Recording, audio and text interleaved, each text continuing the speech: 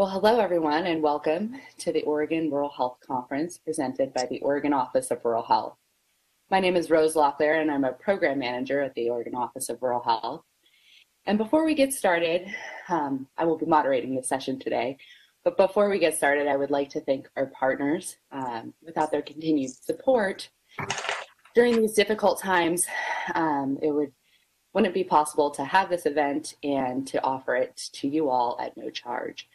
So thank you to our gold partners, All Care, Oregon Rural Health Association, our partners, Eastern Oregon Coordinated Care Organization, Oregon Association of Hospital and Health Systems, the River House on the Deschutes, RQI, our copper partners, Westcom, American College of Education, and INQUISEQ. Next slide, please.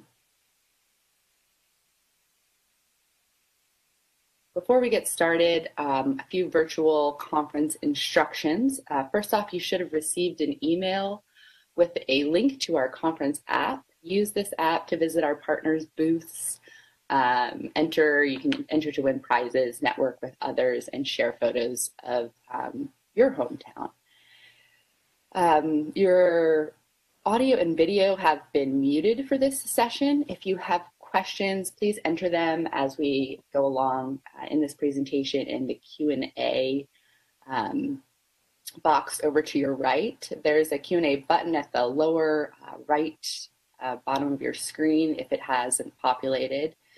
Um, I will ask your questions to the presenters at the end of this session. If you have any technical questions or you're experiencing issues, you can also ask your questions there in that Q&A as well. There's at the upper right hand corner of your screen, you'll see a few um, boxes that allow you to change the view of, um, of pre this presentation. We recommend the floating view for the best experience during the session today. These slides, the recording of the session, will be posted shortly after the conference. And if we don't get to your question, your question will also be posted with these slides. Next slide, please. The session evaluation, we will um, be sending out an evaluation. You'll get a link to this um, Please don't forget to complete the session. If you are um, getting CEs, you absolutely have to complete the evaluation. It gives you a chance to win a $100 gift card. And really, it's a way to help us improve. Um, in this virtual day and age, we like as much feedback as possible. And next slide, please. I'm going to pass the, the baton over to Chip here, and he's going to introduce our speakers today. Thank you so much. Thank you, Rose. Uh, this is Dr. Chip Taylor. I'm a family physician and um, residency program director here in Roseburg, Oregon. Uh, retired Navy captain, I served as the operations chief for our COVID response in Roseburg, which we'll describe today. I'd like to introduce our speakers today and have them just wave and say hi so you'll get a chance to see who they are. Um, KC Bolton is a retired Army colonel, and uh, he is the uh, CEO at Aviva Health, a large federally qualified health center. KC served as the incident commander for our uh, response. KC, would you just say something? So good, good morning. Uh, happy to be here. Looking forward to the discussion. Great.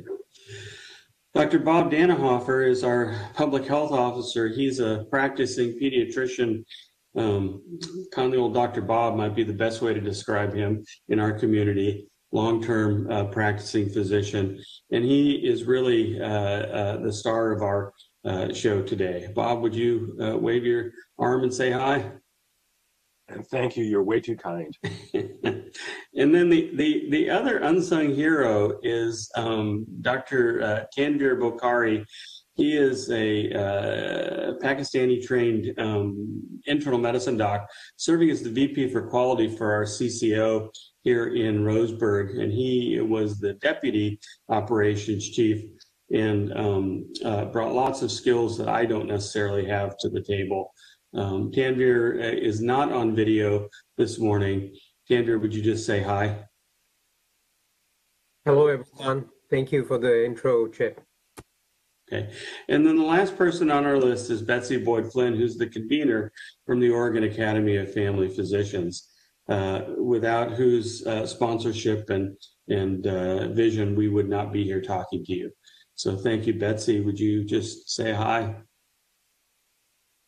Hello, everybody. Thanks for thanks for that those kind words, Chip. That, that and I am perfectly content to be in the background while you awesome people talk about um, the work that you've done to protect your community. So thanks. Great. So next slide, please. So, so the, the topic for today is integrating primary care and public health, and we're using the COVID-19 response as the model for that. For those of you who aren't aware, Douglas County is um, the 38th largest county in the United States, but only the fifth largest county in Oregon. Uh, we have more square acres and miles than the state of Connecticut, about 110,000 folks that we're responsible for, with the vast majority of those lying um, in the central part of the county along the I-5 corridor. Next slide. So, so um, in March, this was the headline for our local paper. Douglas County, one of the four worst counties to be in during the COVID 19 crisis. Based on things that we in rural health know, one, our patients are older, sicker, and poorer than our uh, uh, urban counterparts. And we, we have a relatively inelastic uh, healthcare system. We have what we have. It's hard to get people in and out. And, um, and so uh, they were predicting huge, huge scenarios of infected folks, 20% to 60% over six months. And thank heavens that did not occur. And I would like to say that probably that didn't occur um, due to luck, but also due to um, the strong work of the individuals and others in front of you. Um, next slide. So just to bring everyone up on the same page, March 25th didn't just happen out of the blue. There was a ramp up, and um, and Dr. Dannenhoffer, Bob, will tell us more about this um, because he really was the the person who uh, uh, oversaw much of this preparation, which actually precedes this um, in his his foresight about uh, pandemic response. But we had our first case in in uh, Douglas County in March. Um, the state of emergency was care was uh, uh, set up, and then on the 15th of March or the 25th of March, excuse me, the emergency operations center opened up, and we were able to stand down and go into a more passive mode of response on the 30th of May. So our story is mostly about what happened between March 25th and May 30th. I'm going to go ahead and pass the baton to KC Bolton who was our incident commander, who can talk about the big picture and a little bit about the fog of war that occurred in those first few days as we sought to create a response. Yeah, it was very foggy. uh, I, I do want to say that that it's it's not common for uh, a county like Douglas County to reach out of its structure. They have emergency response staff uh, they have a full-time emergency manager. Um, this this was a it's not a horse, it's a zebra sort of uh, issue or challenge for the county. And uh, Dr. Bob works closely with the commissioners on a daily basis, and and they determined that they needed a different kind of slant to how they approach the response. And so um, I, I was asked to come work at the county and help lead that team. It really was a more of a team. I was kind of uh, connecting the dots at, at, a higher level. Let's go and go to the next slide. And I want to talk a little bit about how uh, we sat down and tried to approach the response. And, and really, when this first kicked off, it had a lot of the feel of kind of uh, battlefield medicine.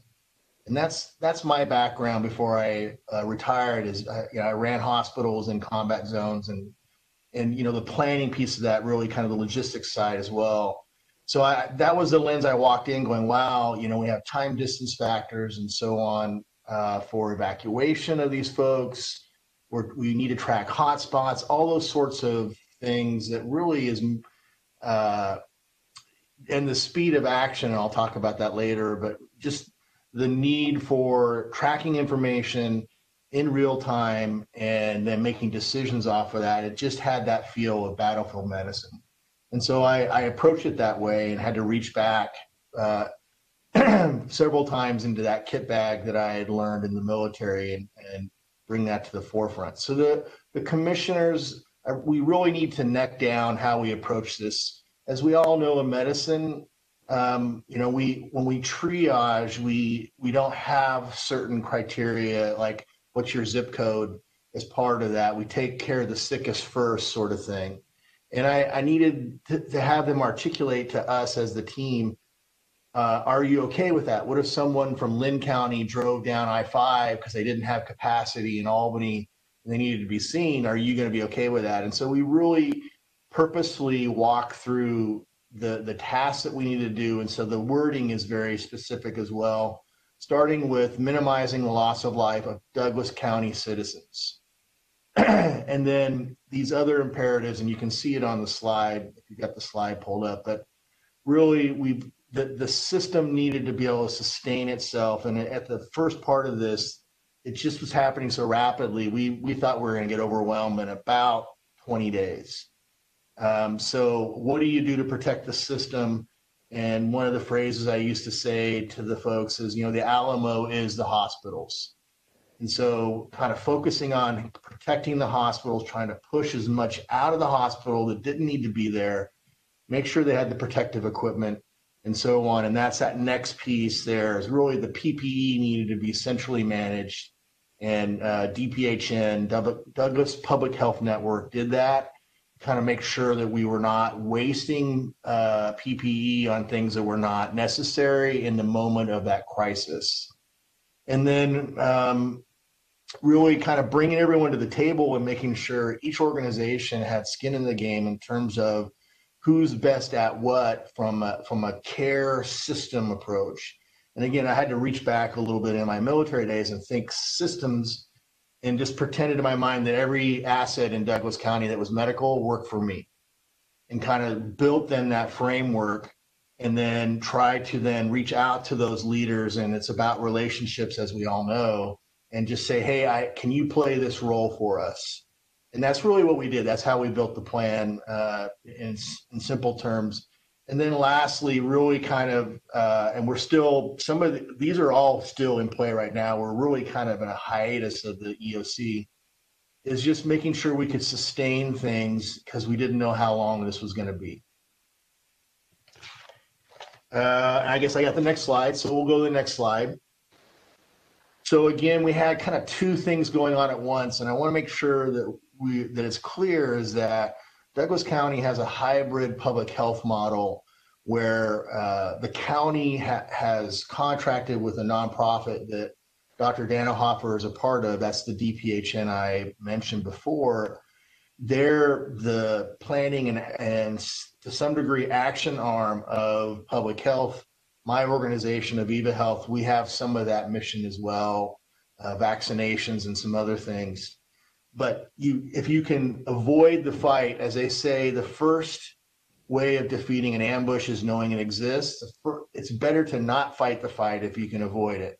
So that's that's that battle for containment and understanding where those hotspots are for covid and trying to get ahead of that and really uh, saturating that site and making sure we knew who talked to who and bob and his team did all of that um, and so, they, and they were continuing to do that. So we had this simultaneous kind of preventive approach as well as me ramping up the bigger system of the reaction sort of thing. And that's that second uh, column there. The health system is really how are we going to collectively uh, optimize our resources and uh, you know we there was a lot of there's there's still some unknowns but there were a lot of unknowns at the start of who was going to suit up for the game and who wasn't, and, and what resources they really had.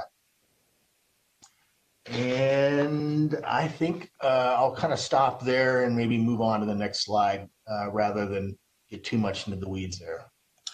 So this this is the transition to Dr. Bob telling us about that um, fight for containment. Um, Bob, perhaps you could start by providing some perspective, and as you do so well, uh, uh, there was a huge amount of uncertainty, um, and you you you were right on top of almost like a barometer, trying to see which way the pressure was going for our system and you've been doing that for a long time, even before we reached uh, this stage. Yeah, we had been prepared for this. So when this pandemic came, people said, "Oh, this is your first pandemic," but it's not the first. It was not the first rehearsal for a pandemic, because we'd done that before. So if I can have the next slide. So, public health in Douglas County is distinctly different from every other place in the state, and we would say from most places in the country. So public health in Douglas County is a public-private partnership. There are clearly some, some public parts to public health. There are enforcement duties, there are legislative duties that the public health needs to do, and the county retains that public health authority. But they have a, a, a part-time employee who's me as the public health officer, and the rest of the work is done by our FQHC, who provides clinical services, uh, women's health services, immunizations, sexually transmitted infections. And so they do that work. Setting it up this way helps public health to, to work with primary care. We can't be separate from primary care. We have to be part of primary care because we have to share these patients. So sharing is deeply ingrained in our model. We also had to set up a new not-for-profit, which is this Douglas Public Health Network or DPHN, and they provide all the services that nobody else wants to touch. Case investigation, emergency preparedness, coordination of clinical services, filling out death certificates, all those kinds of things that really aren't clinical, but that public health needs to do. And when we formed five years ago, our board included the CEOs of our two local FQHCs, people from the hospital, people from the CCO, people from the IPA.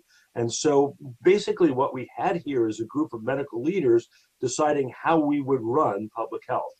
Their view was that infectious disease and preparedness needed to be our highest priorities. There are so many priorities in public health. Is it chronic diseases? Is it smoking? Is it obesity?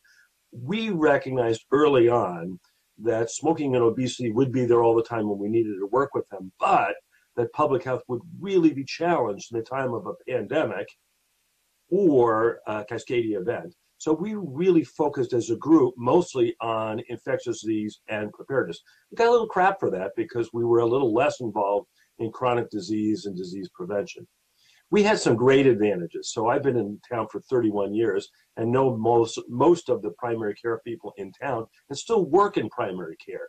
So when they say, well, public health doesn't really understand primary care, that just doesn't go anywhere in Douglas County. And we really have a history of sharing. I get so many calls from docs in town asking about public health things, and then I call people in town to help me. Kid with TB who needs to get treated, an adult with a rare disease that I can ask our inf- infectious disease people. So so sharing was not something that we had to figure out when the pandemic came. Sh- sharing was part of our DNA. And there was no competition for clinical services. So in many areas, public health and the private people uh, battle over over patients and battle over assignments and whatever else. We don't do any clinical services as the county, and so there's no competition for clinical services, and we're way past that. And then the non-for-profit structure of our Douglas Public Health Network gives us great flexibility in hiring. Many of the other areas in the state had to go through their somewhat antiquated ways of, of hiring people and took a long time to do it. We could hire people on the spot. And because we were not for profit, we got a bunch of grants.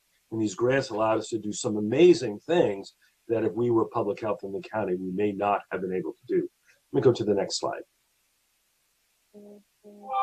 So we understood that pande- a pandemic or Cascadia were going to be the two things that were going to most stress public health sometime in the future. So for four years now, we've been doing these drive-through flu clinics.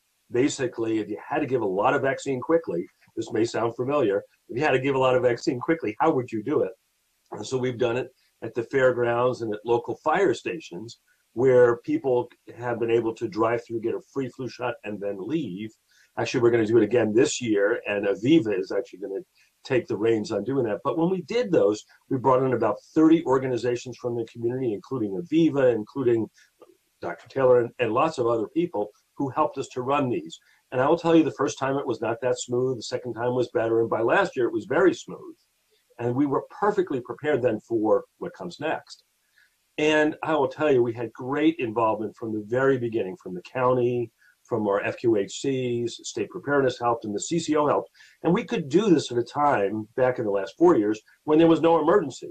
So the people from the state health could come down. We could do all the things in a quiet and kind of protected way so that when you had to do it under battlefield conditions, it got better. So we, so there was nothing particularly new in what we were doing. So we were able to very early establish an incident command. So we started our incident command here on March the 7th, the county a little bit later than that. We were one of the very first. There are some counties who've not yet set up incident command for COVID. We were able early on to recognize that you needed to have a team that could do case investigation and contact tracing before there was any talk of that. We were able, as our not-for-profit, to hire somebody with long experience in the CDC tracking down sexually transmitted diseases in the last few cases of polio. And so we understood how important it was to have those contact tracers. Very early on, early March, we set up a hotline. We turned our drive-through flu clinics into a drive-through COVID testing clinic underneath the fairgrounds. People drive through, and we rely on others to help us. So Aviva provides our prime uh, person who does the swabbing is one of their dentists. They provide a lot of other things. The hospital has provided personnel, and so our COVID driving drive-through testing has been live since uh, mid-March. And twice a week we do it. Where I think we're the only public health that's been able to do it. And this has taken tremendous pressure off our local people to not have to do all the testing because we'll do all that testing. We do a daily press release. We do twice weekly Facebook Live sessions. And then we were obviously really involved in this countywide COVID task force. So, so preparation is really the key. Now, we're too late in this one for people to start preparing, but some of those models are really important. Work with your neighbors beforehand. If there are barriers that are going to cause competition or are going to cause hard feelings, get rid of those, get past those, and then practice working together. As people have said, an emergency is not the time to be collecting business cards. You got to know who these people are. You've got to work with these people beforehand so that you do it again. And by doing the free flu clinics, we garnered lots of positive public support from the from the people in the community and from the other workers that we were we were cooperators and that worked. So you saw in the beginning that Douglas County was going to be just a disaster for COVID, and the next slide will tell you exactly what happened. So you remember in the beginning there was a discussion that Douglas County would be one of the one of the four worst counties in the country. So uh, the four counties that were supposed to do really bad were Marion County in Florida, Highlands County in Florida, Mohave County in Arizona, and Douglas County in Oregon. So I pulled the numbers from these four counties uh, uh, a week or so ago. Marion County, 8,765 cases and 200 deaths. Uh, Highlands County, 1,854 cases and 69 deaths. Mohave County, 3,675 cases and 210 deaths. And Douglas County, 180 cases, uh, less than 10% of the number of cases of any of the other areas, and only three deaths, 20 times less than the best performing place. So yes, uh, when they predicted that these four counties would have troubles, they were right 75% of the time. I'll turn it over from here. Uh, thank, thank you, uh, thank you, Bob. Uh, um, I really want to emphasize that that things look pretty scary on the 25th of March, and um, we we were anticipating that the um, the system would be overwhelmed by Easter.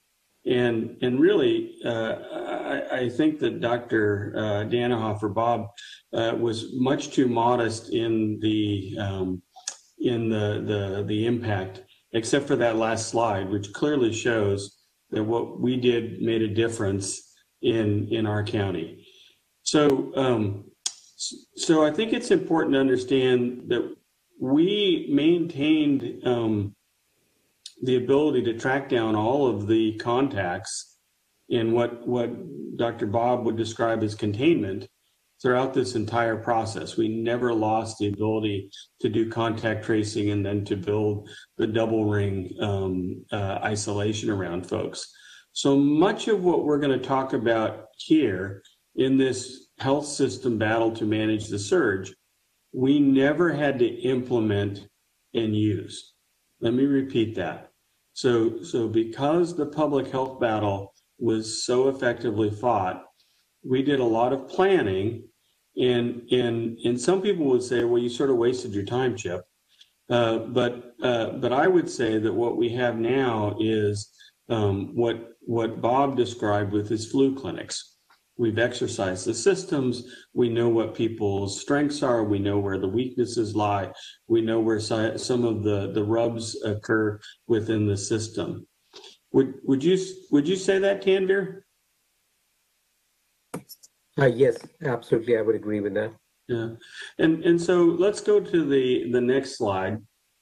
And this this slide is a little bit complicated and difficult to understand. And maybe this is my psychopathology because I, I found this to be very informative to me in helping to to think about the system.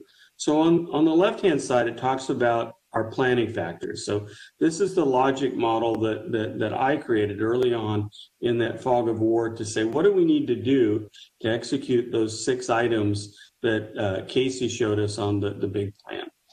So, so at the time when we were looking at this, we had data from from Italy and we had data from New York City and and you know we kind of had to come up with a, a planning factor. And so we thought there was a 72 hour doubling time for COVID infections. About 20% of those folks affected in our county would need hospitalization, and 5% would need uh, intensive care. Our largest hospital in the community is uh, CHI Mercy Health, which is 170 beds, 16 ICU beds, and, and again, it's up here at the pinnacle of this pyramid as a fairly inelastic system. And, and so uh, we began talking with the CMO and the CEO of the hospital about what they were thinking they could do to expand. And one of the critical things to think about in a, a community is um, you probably have more resources than you believe, but eventually you will reach something that will be the constraint. So the initial constraint was 16 ICU beds, right?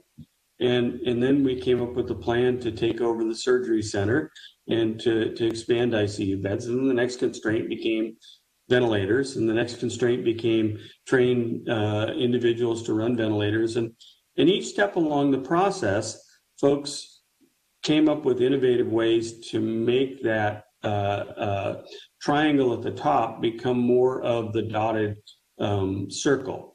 So we were able to expand the critical care capacity. Now there's there's still a maximum amount, but but it was much more than the 16 beds that the that the uh, horrible headline was predicated on.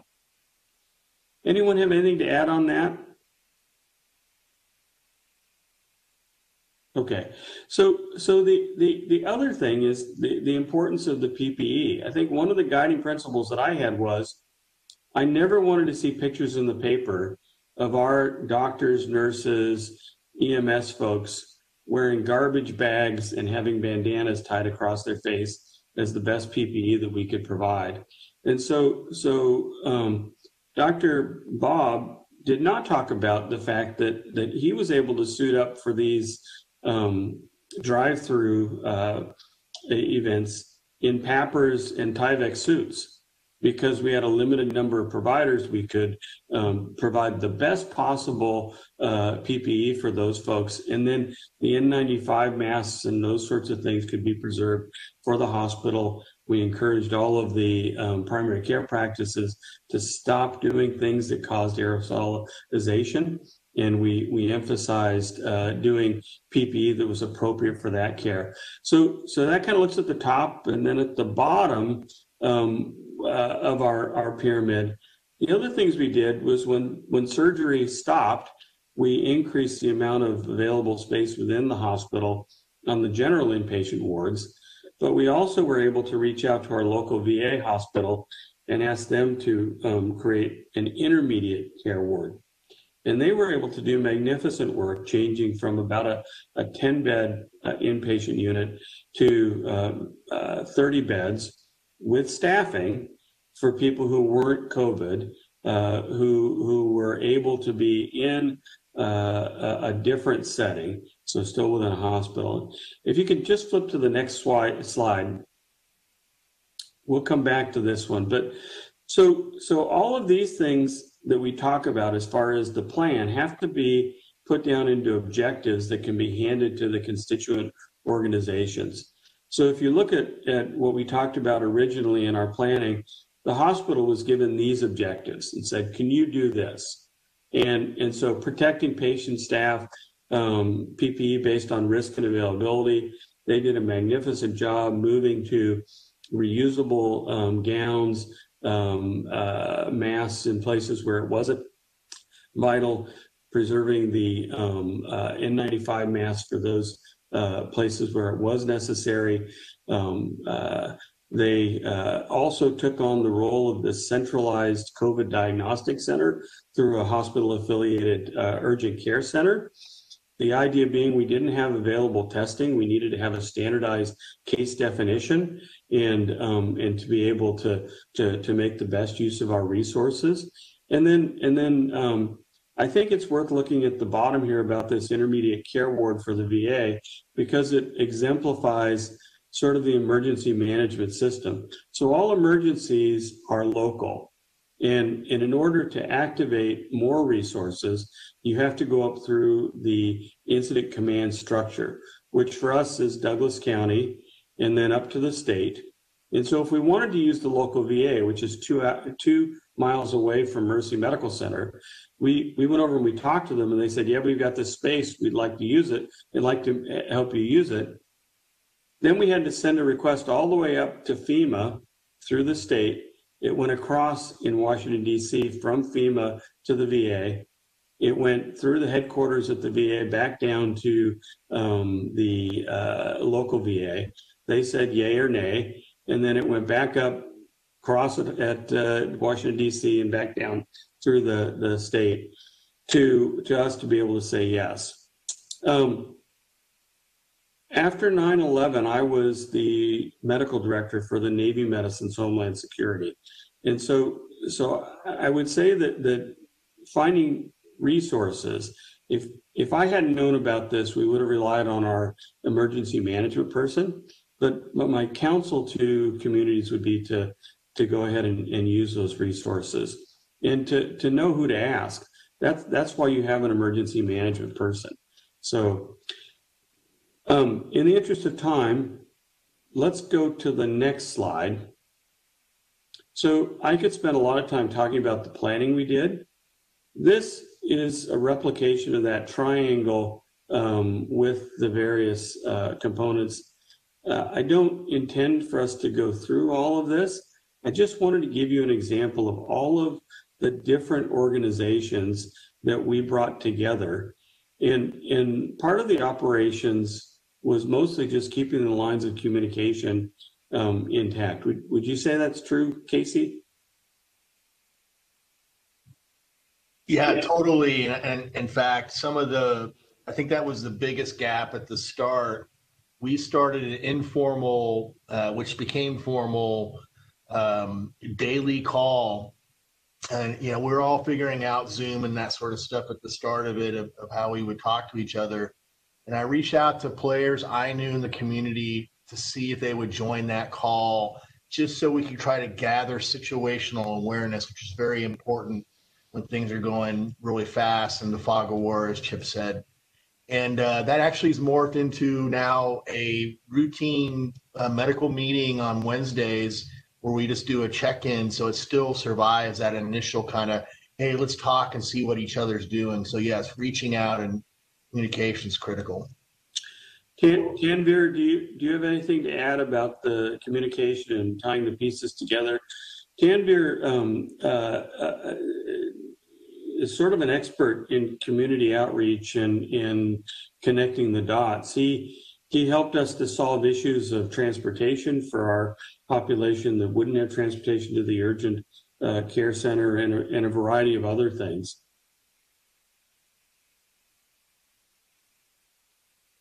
Anything to add, Tanveer? Um, I think uh, Chip uh, and KC, you've um, laid it out very nicely. Um, it was a very difficult period uh, for everyone in Douglas County, and I think uh, all the partners and stakeholders came together at the right time in the right way. But there was a lot of work that was involved in getting them together. Think that's uh, the high point. Right.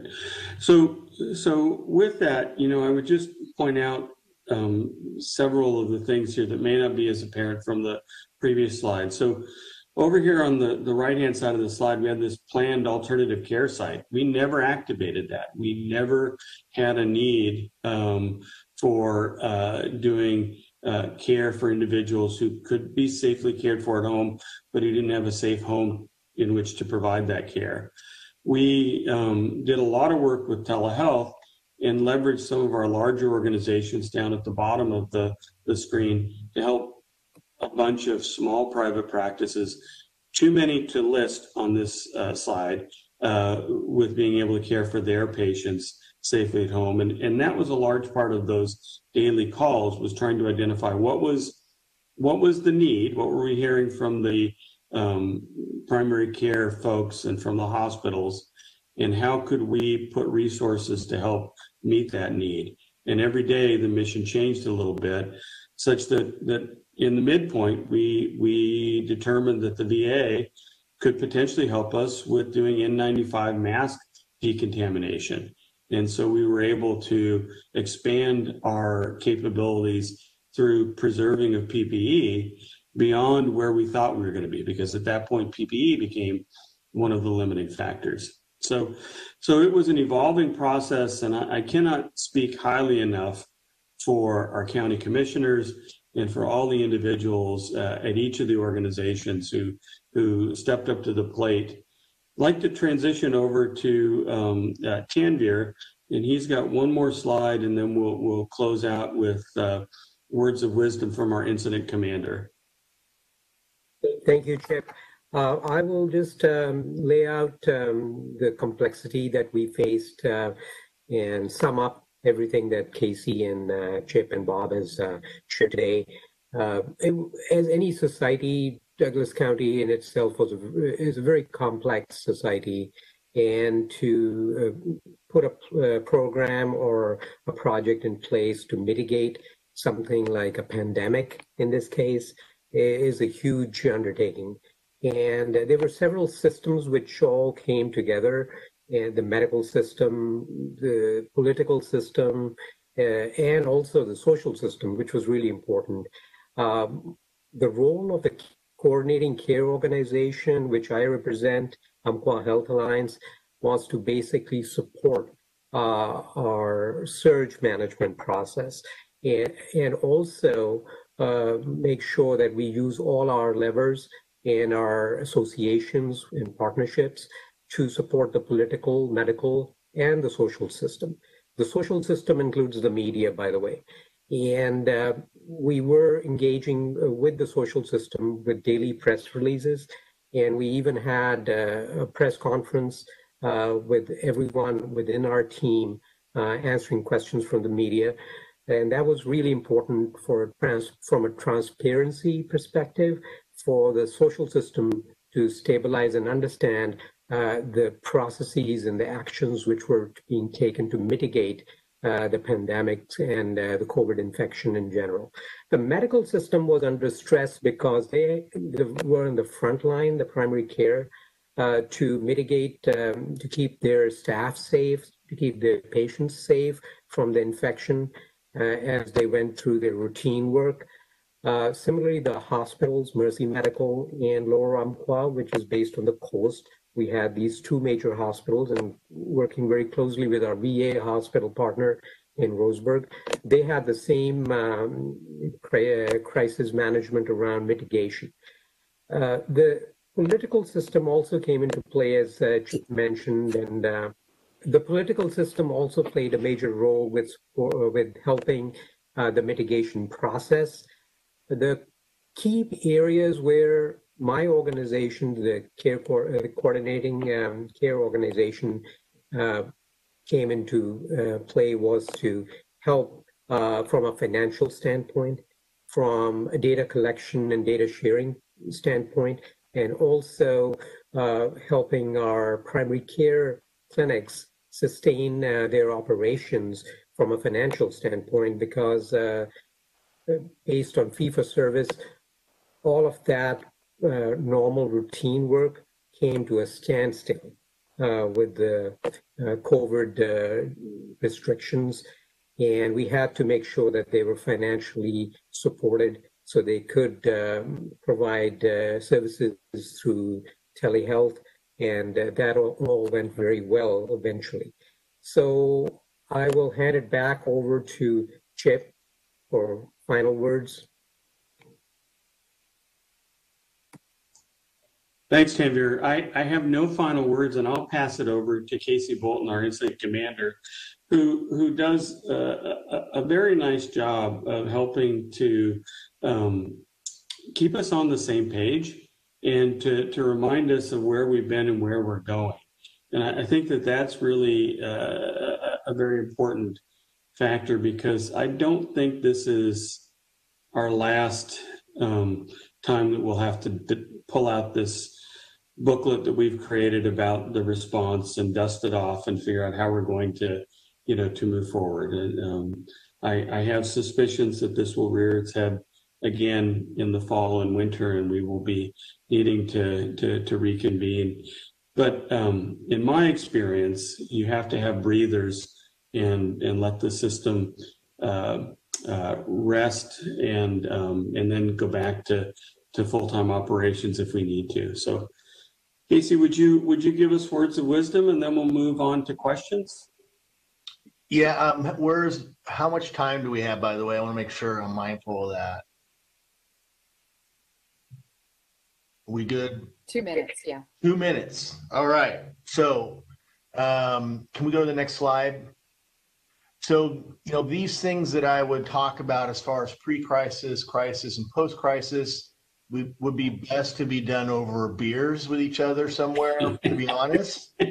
Uh, the lessons learned, but I, I, I think we've already talked some of these points, and and I just want to highlight a few of them in each one of these phases of of the operation. But uh, you know, understanding workflows is absolutely critical, and you, you need to take time pre-crisis. And Bob had and his team had done a lot of that, but then when you add new players to the mix that does change the, the workflow. And so you need to uh, be mindful of that and understand that.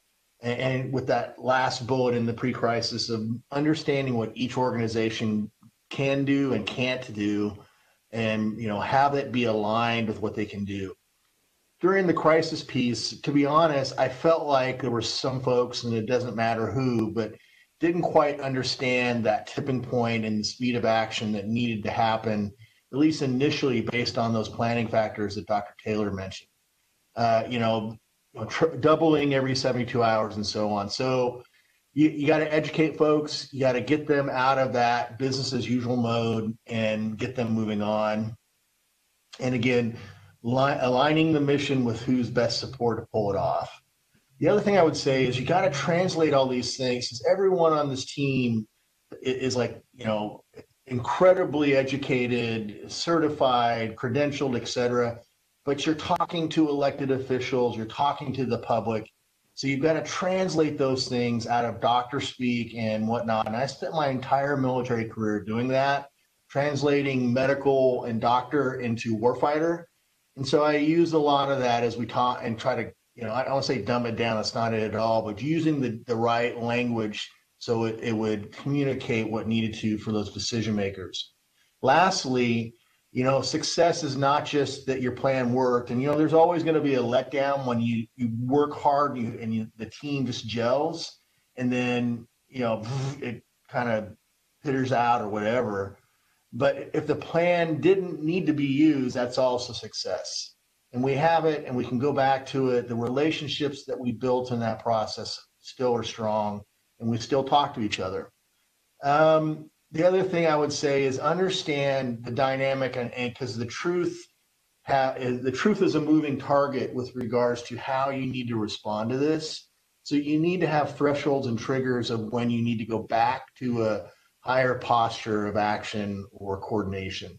And like Dr. Taylor said, you know, you've got to kind of you got to pace yourself, sprint, and then walk. And and so right now we're really not really tracking the cases. At least I'm not as much as I am hospitalizations at, at our local hospitals for COVID, and then people presenting into the urgent cares for COVID-like symptoms. Really trying to understand that.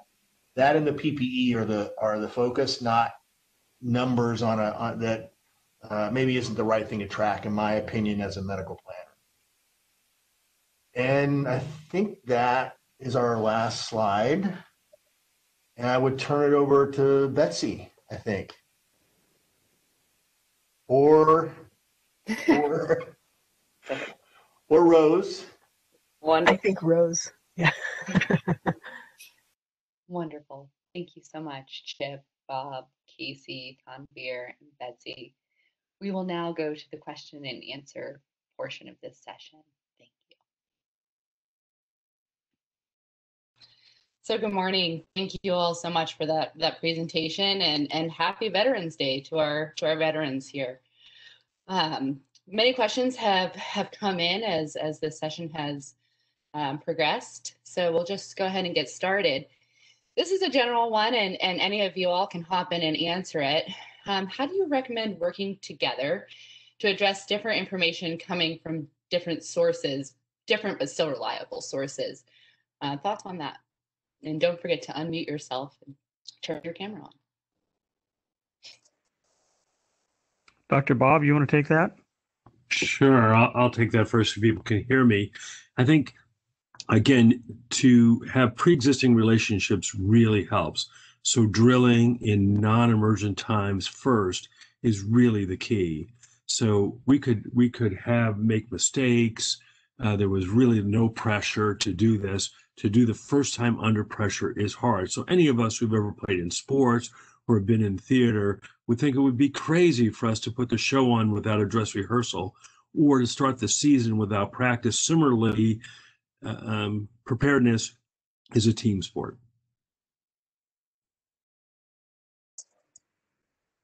I Uh, think I would, Tanveer, I would add, go ahead, add a little to what Bob said.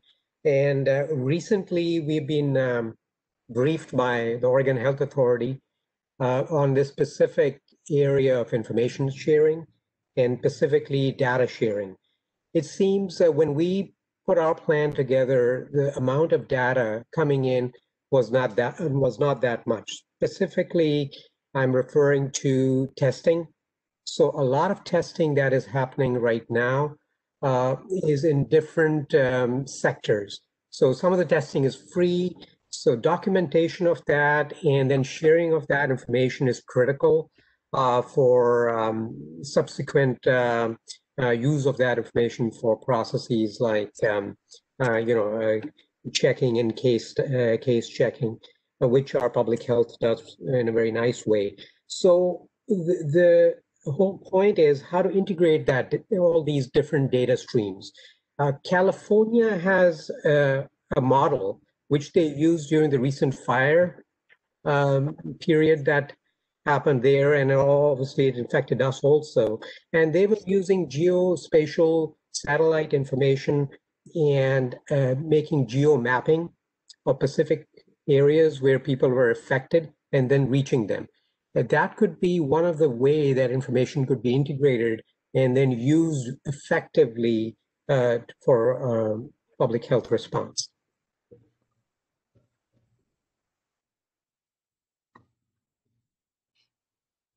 Katie, did you have something you wanted to add to that? Uh, no, it's not very profound, so I'll just hang tight.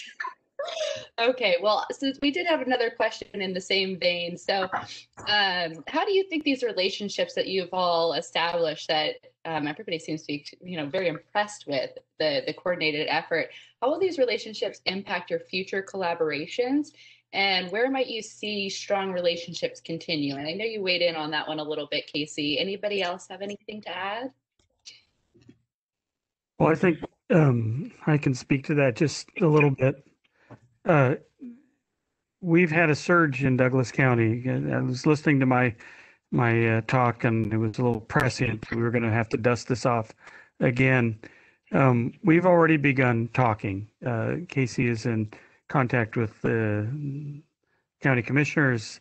Dr. Bob has been helping us to to to get our situational awareness up to speed, and he's busily recruiting more people for contact tracing. And um, and you know, I stopped by and visited with the CMO at the hospital to touch bases about how our brand new family medicine residents might play a role in in helping with the manpower stuff. So, um, you know, the beauty about being in a rural community is that you know it doesn't take much to build those relationships. It also doesn't take much to destroy those relationships, and and so um, you know we I think we've done a good job of nurturing those and keeping them alive, and and I I don't sense the same anxiety at this point in time, and I don't see that as complacency. I see that as um, maybe we've reached that sense of we we have the competence, we know what we're facing, and and we have the confidence that we have the abilities to to respond. I, would be interested in hearing what some of the other folks think. I, I I'm I'm in clinic right now, so I haven't been able to talk with these folks in a little while. Well, the only thing we can be sure about is that we're going to need to do this again, be it another pandemic, be it Cascadia, be it something else that we're going to need to work together again on the emergency side. But then there's other positive things we can work on. So I had talked earlier about obesity or other kind of things. And so this cements relationships that later will help when we work on a project, say immunizations with the CCO or smoking cessation with the CCO. And and again, building relationships is is really important much easier rural community, I think, than say in Portland. Yeah, I would just comment briefly. I, I feel like it's cha- transformed the relationships, uh, the you know not letting a crisis go to waste. We really do have a much better uh, system of cross talking in the community and, and, understanding who the real the real people are to make things happen. You know, Tanveer uh, blazed so many trails for us with the CCO and, and has kept those doors open. Each one of the three that are on this panel was instrumental in sustaining that uh, mosaic of crosstalk. So.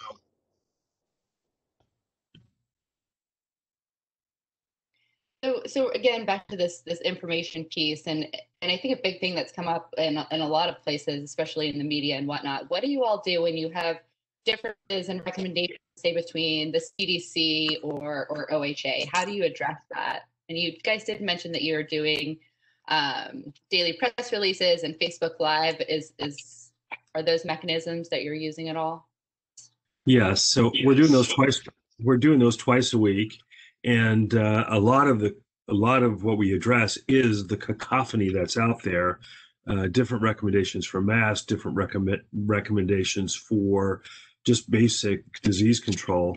And we go through it and say you know this is our we always we always explain that this is our first pandemic that nobody knows this that is going around quickly and ask people not to use those small differences in in rules as a sense that we don't know what we're doing is that we don't know exactly what we're doing but we're pretty much know. You know i we we try to have lots of humility in this something that's been lacking perhaps at the federal level so if i could just tag team on that i, I saw angela's question and tried to respond in the chat uh, i i think the way that we handled it so talking about our experience is that we we had a lot of behind the scenes con- conversations and then tried to speak with one voice. And I think that's really important. We also had a very trusted source, and, and Dr. Bob is a local uh, uh, uh, celebrity uh, for his uh, uh, funny videos on masks and a variety of other things. And so, so it, it isn't it isn't easy to stay on task. And so, um, you know, being able to say we we weren't quite right on that. Here's what we see today um, you know, so we, we were wrong with the 72 hour doubling time, and, uh, and and we had to adjust fire and and go from there. So I, hope that answers the question. Beautiful. I, I think that's think that's exactly what we're after here. So before we wrap this session up, I know that we recorded this session a, a bit ago, and there's a great deal of interest in what you all are doing now as cases are surging. Um, is your system holding steady, or so what's going on with with your um, with, with with the process that you described in your session, and and how that's being implemented at the moment? Well, we clearly are seeing a surge. So uh, when we tape this, we now have about three times as many cases and three times as many deaths. So it really has surged since then. But actually, all of the work that we had done early on has just served us perfectly well. So, for example, we had a press conference yesterday at the fairgrounds, was totally on on task. Uh, we are certainly getting stretched now with what goes on, but I think we have enough built up social capital in the system that I think people are listening to us and and helping us during this difficult time. But I would tell for anybody who's out there, this is going to be a very difficult next eight weeks.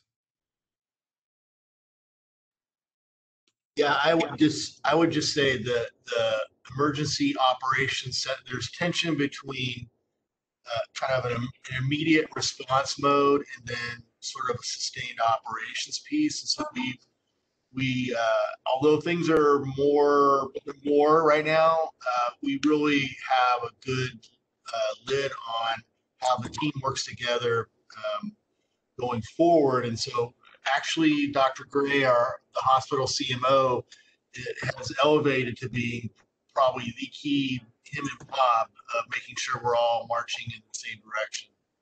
Um, you know, notwithstanding all the other variables, you know, those two leaders really say this is these are the boundaries, and then what I'm doing now is trying to pull in resources and connect the dots and get ahead of them a little bit. Um, but uh, you know, the full county might of this is trying to do multiple things at once, and you, life goes on.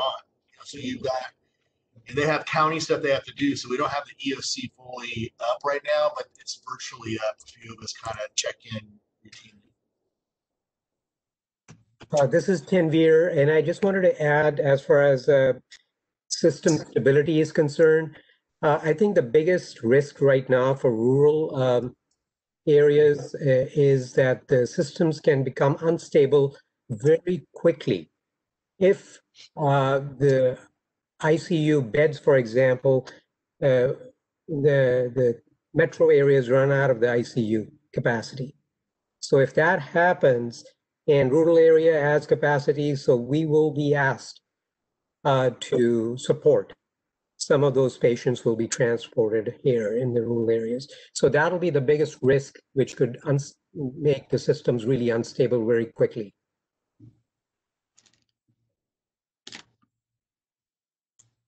Great point, Tanveer. Thank you. So we are just about to the top of the hour, and our next session is going to begin. So I want to thank everybody um, for sharing their expertise today. Tanveer, Chip, Bob, Betsy, uh, KC. Um, you guys have been absolutely tremendous. Thank you so much. Um, and we're going to keep uh, this veterans topic going. And our next session is going to be, about, be about engaging rural veterans and growing community partnerships. So a nice transition here. And I want to thank you all for joining us today and, and listening to how our communities are supporting these efforts. Thank you very much and have a lovely remainder of the conference.